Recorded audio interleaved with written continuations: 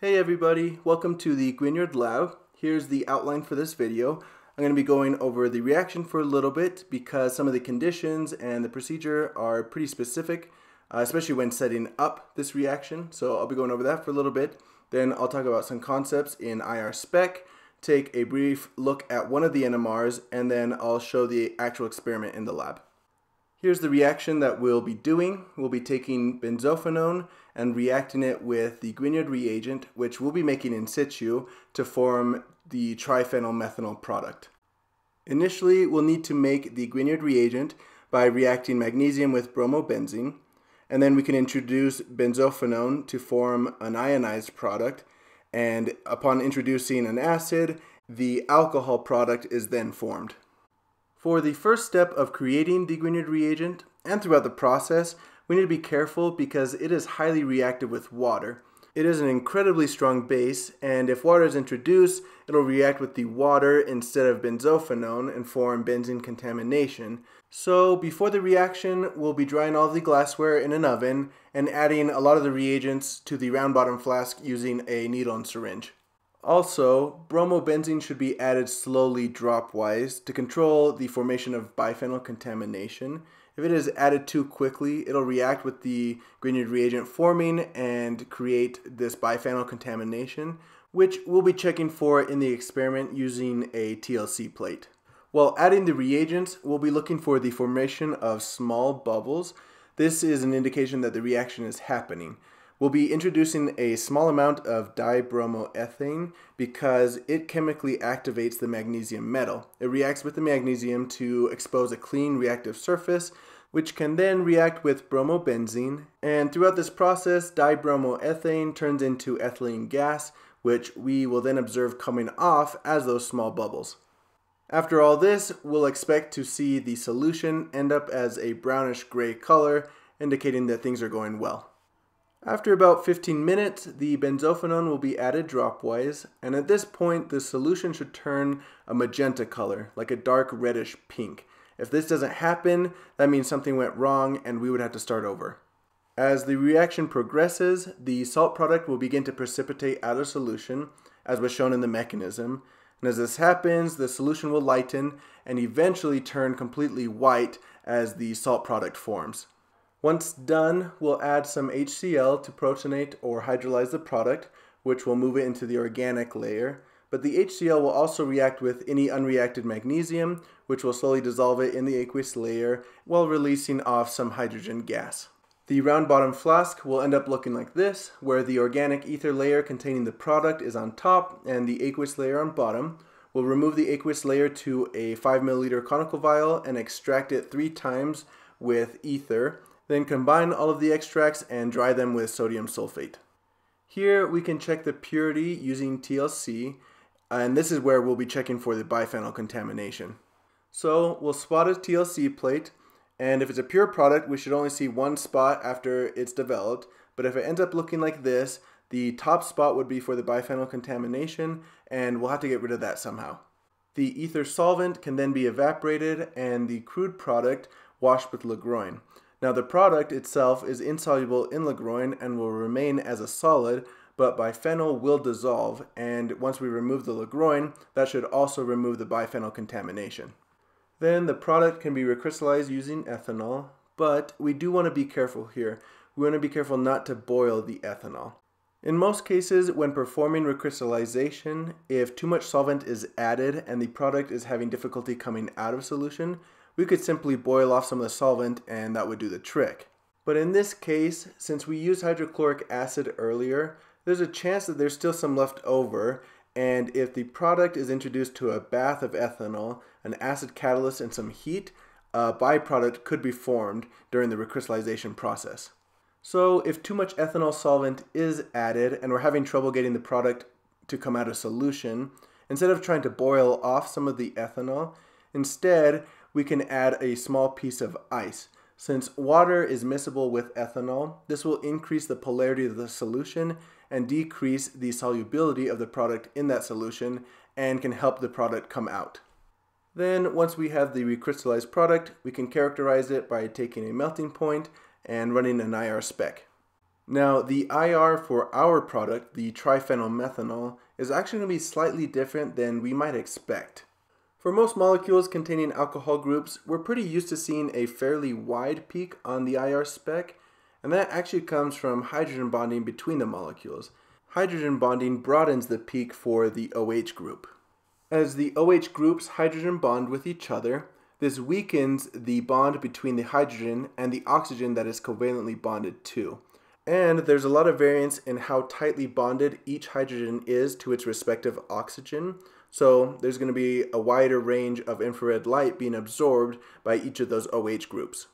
But if we look at a molecule like triphenylmethanol, where the OH group is a lot more sterically hindered and therefore can't hydrogen bond nearly as well, we see a much sharper peak for the OH bond and that's because there's a lot less variance in how tightly bonded that hydrogen is to the oxygen. Finally, I just want to go over something real quick for one of the NMRs. So if you look at this one here, and you were to have completed the NMRs for the other two compounds already, you would be left with the Grignard reagent for this one. But if you were to run it in an NMR, the magnesium would actually do some really weird things to the chemical shifts, so the NMR was run with bromobenzene instead. So when analyzing this proton NMR and the carbon NMR, use bromobenzene and not the Grignard reagent.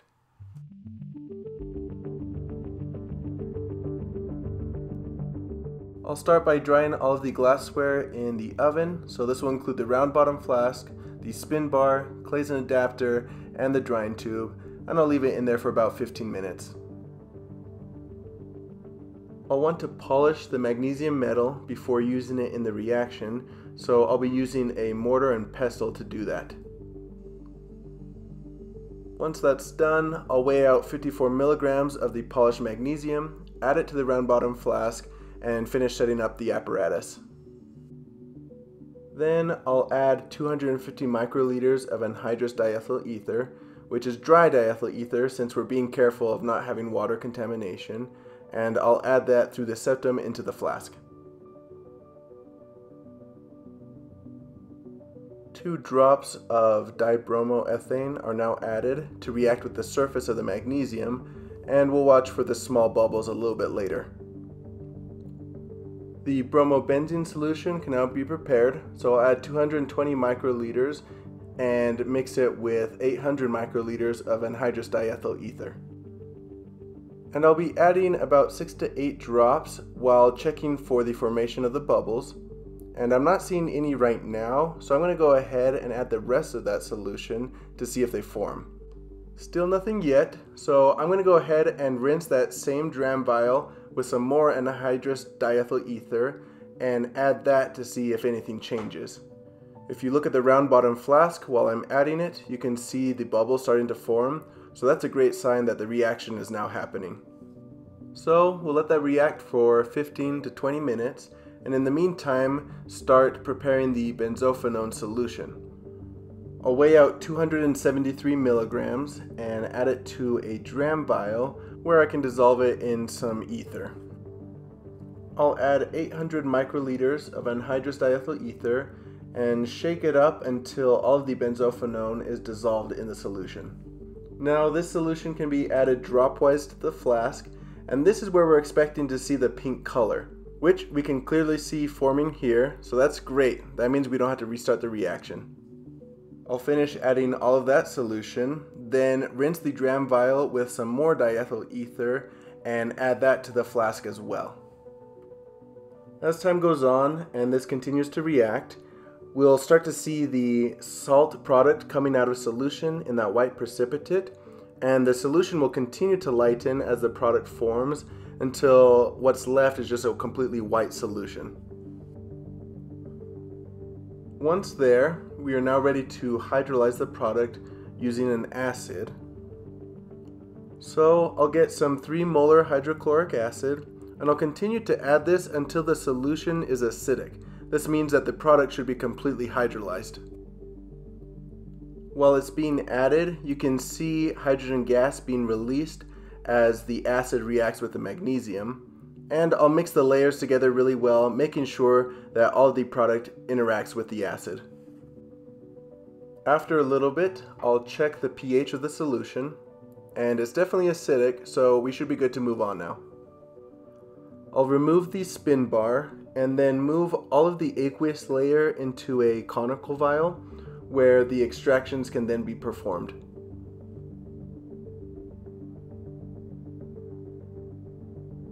To do those extractions, I'll be using some more diethyl ether. And again, diethyl ether is less dense than water, so it'll be on top of the aqueous phase. And I'll go ahead and do three of those extractions.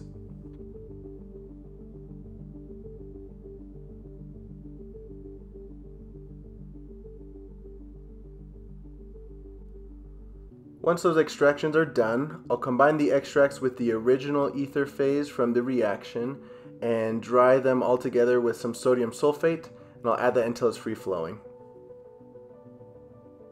Then I can remove the ether solution from the sodium sulfate and spot a TLC plate with that solution to test for the biphenyl contamination. And I'll develop that TLC plate using methylene chloride as the mobile phase. Once it's finished developing, I'll mark where the solvent reached on the TLC plate and observe it under a UV light. The bottom spot tells us that the product definitely was formed, but we also have biphenyl contamination shown in that top spot, so we'll have to rinse the crude product with some Ligroin later on. I'll evaporate the solvent using a stream of air and some gentle warming, and then begin moving the crude product over to a conical vial where I'll be adding some Ligroin to dissolve the biphenyl contamination. I'll rinse it twice with about 2 milliliters of Ligroin each time, making sure to break up the solid really well in order to expose all of the biphenyl to the Ligroin. Then I can draw off the solution from the product and repeat the process a second time.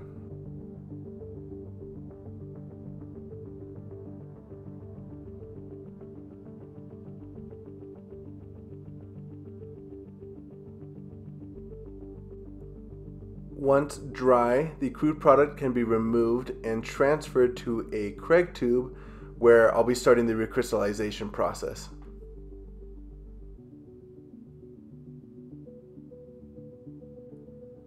Ethanol will be used as the recrystallization solvent, and again, we want to be careful not to boil it in order to not create any unwanted byproduct. I'll start working on dissolving the product in ethanol while stirring it in the hot water bath. And there was quite a bit of crude product, so it took a lot of solvent to finally get it to dissolve, but eventually it did get there.